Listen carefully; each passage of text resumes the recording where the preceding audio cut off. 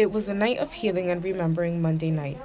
With the recent student losses of 22 year old Jenna Burleigh, 19 year old Richard Okor, and 22 year old Carrion Hithen, the university decided to come together with the rest of the Temple community to process the recent events. So, this is an opportunity to showcase some of those supports and to give people an opportunity just to talk. Students and faculty met alongside members of the University Interfaith Council, counselors from Tuttleman Counseling Services, and members from Temple Student Government to provide a platform to simply talk. Nasir Mack is another student who says an event as this is necessary. Because spaces like these are very important. It's very important for students and it's very important for faculty uh, to have these type of conversations. Both sides shared their confusion, their hurt, and anger.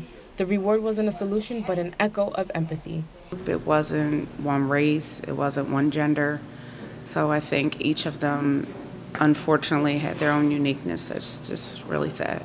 With the meeting coming to a close, students and faculty express they are still in shock, but the university encourages that the conversation shouldn't stop here. The important thing is to simply be able to notice what your resp- what your response is and how you're feeling, what you're thinking, what you're questioning, but without necessarily having any particular judgments about that, and then to be able to sort of share that. Temple continues to encourage faculty and students to take advantage of the counseling services the university provides.